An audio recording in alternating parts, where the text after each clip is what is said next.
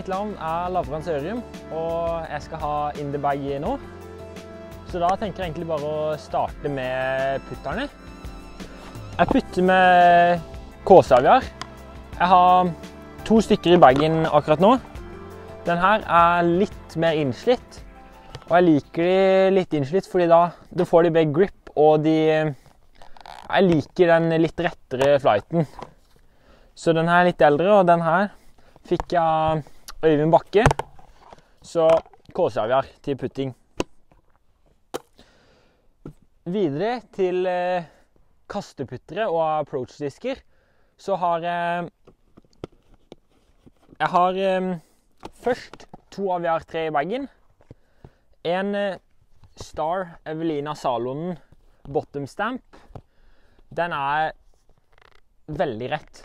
Jeg kaster den ut helt rett, og så har den kanskje litt grann fade på slutten. Men den her bruker jeg alt fra Heiser til rett til Anheiser.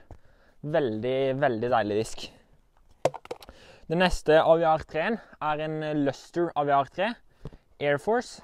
Den er litt annen form, litt mer konkav. Altså den går litt inn på midten. Så den er Jeg liker den til forehand, og jeg troa på at den er litt grann mer overstabil enn forrige, og kjempe gjennom vinden litt bedre. Neste approach-disk, eller driving putter, er Puren. Dette er en Opto X Pure.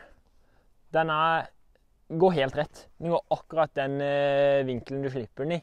Så den er helt uh, Pure må jeg ha i bagen. Akkurat for øyeblikket har jeg bare én. Litt av Øyvind Jarnes-signatur i tillegg, så det er, det er tøft. Den siste putteren jeg har i bagen, eller den grenser jo nesten over til midrange, er en harp. Den er for det første veldig kult trykk. For det andre så er den veldig deilig å kaste. Den er overstabil, holder linjene du legger den i. Spesielt kaster den ut i heiser, og den holder hele veien. Og bruker den også mye til forehand-innspill, siden jeg kan stole såpass på den. Kaster den fra tien stadig vekk. Videre så er det midrangen i bagen. Jeg har for øyeblikket fem midranger i bagen. Jeg har to San Marino-rocker. Den her er den som blir brukt mest. Det er en G-Star San Marino-rock. Akkurat nå er den veldig slitt, så den går helt rett og med en liten fade. Så det her er den, den engine her, den kaster jeg i litt små flekslinjer, i heisere og rettekast som fader litt på slutten. Veldig, veldig digg disk.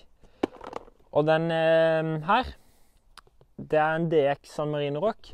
Den er motsetning til den første. Den er rett til understabil, så den bruker jeg i turnover eller heiserflip-kast. Neste rock-varianten jeg har i veien, er en V-rock. Fikk den her for øvrig av Sander Aasland.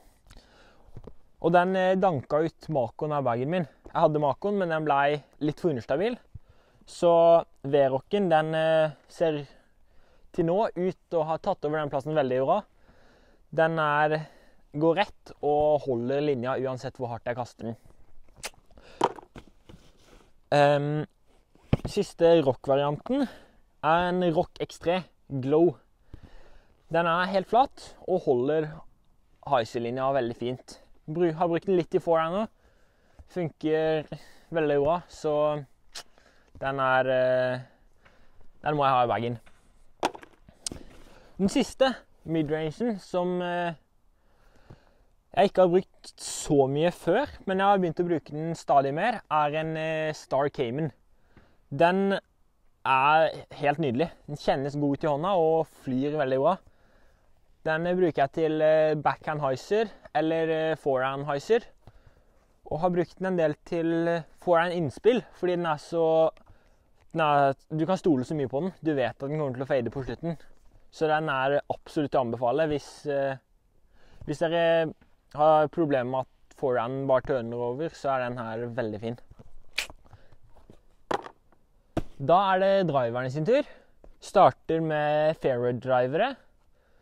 Da kan vi ta T-birdene først. Jeg har eh, to T-birder i bagen. Den her er en G-Star T-bird. Det er for øvrig første disken jeg fikk. Den er eh, Den går helt rett. Så den kan jeg kaste i hvilken vinkel jeg vil, men eh, det er rett disk for meg. Og neste T-birden er en Karl Johan Nybo T-bird. Shimmer Star. Den er litt mer overstabil, så til rette kast med en finish, eller bare rolig heiserkast som holder linja si hele veien. T-bird um, Så en annen fairway driver som jeg har Før var vel det yndlingsdisken min. Det, en, det er en St. Pro. Den har jeg tatt inn i bagen igjen nå for å bruke til forehand. Den er litt understabil, så den flipper opp, men har fortsatt en fade på slutten. Så denne disken den kan du bruke til alt. Den er veldig, veldig fin. Og så har jeg faktisk en Easy to use Jade. Den er veldig undervurdert, vil jeg si. 156 gram og enormt med glide. Så hvis det er et oppoverhull, så kaster jeg den her. Går eh, oppover hele veien. Og hvis ikke jeg kaster oppover, så er det lange turnover-kast. Du trenger ikke å ha mye kraft for å kaste den disken her langt opp til Jade.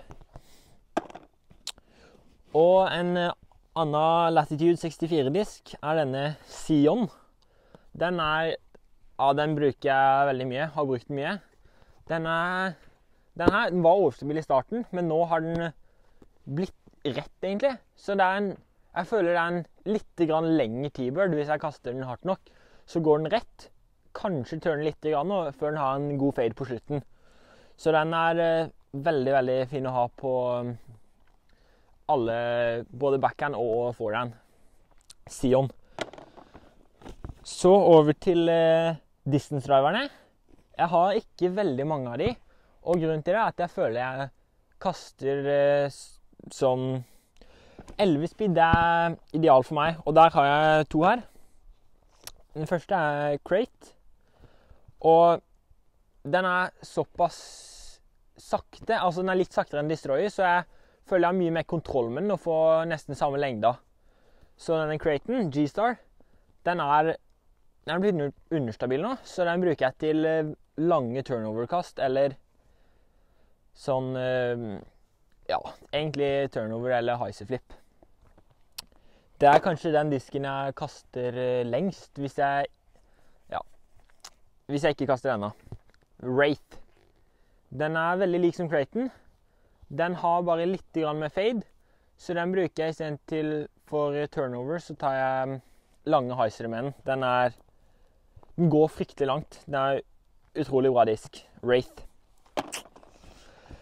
Så har jeg én destroyer i bagen. En Josh Anthon Destroyer. Den er Den er mm, ganske overstabil i mine øyne. Så hvis jeg kaster den rett, så går den rett et lite stykke før den fader eh, på slutten. Og grunnen til at jeg har den i bagen, er at jeg, hvis jeg har et kast jeg absolutt ikke må til høyre på, hvor jeg ikke kan kaste Rathen, så går jeg for den her. Fordi den vet jeg alltid kommer til å fade til venstre. Så den er bare litt mer forutsigbar enn de forrige.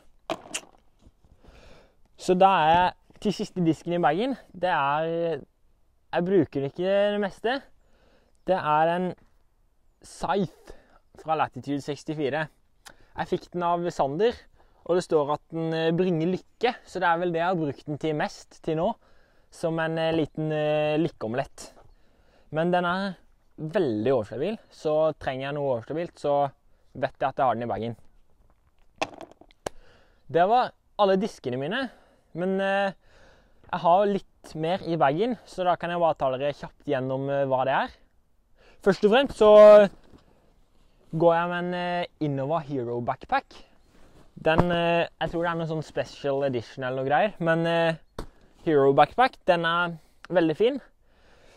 Så har jeg en vannflaske her for vann. Det har jeg alltid med. Så en penn for å merke nye disker. Mini, DG-shop. Så i silomma her har jeg alltid med litt eh, mat. Mellombar er fint å ha. Pose med nøtter. Det kommer eh, veldig godt med. Og så noe plaster og sportsteip i tilfelle, tilfelle du skader deg. Eller eh, sportsteip er faktisk ganske greit da hvis du skal ta grenade. Da slipper du å ødelegge tommelen din. Pro tip der. Og så i den lomma her så har jeg en par håndklær og en eh, dirtbag. Og som dere kan se, så har jeg dette håndkleet hengende på utsida av bagen i en eh, krok.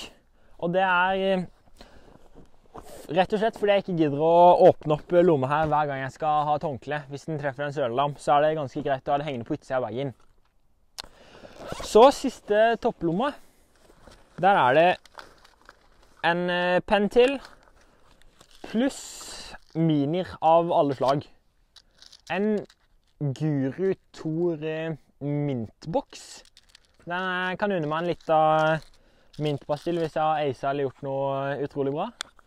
Pluss en Innova vanlig mini. Og Bogeboys-minien vi fikk av Mats. Skal vi se om dere kan se det. Den, den må vi. Den er utrolig kul. Den må i bagen. Og siste er en eh, hjemmelaga som det står 'Focus on the positive'. Som kan være veldig greit å huske hvis du kaster dårlig. Det var egentlig det. Alt det har i bagen min. Så da bare takker jeg for at du så på. Så ses vi i en annen video.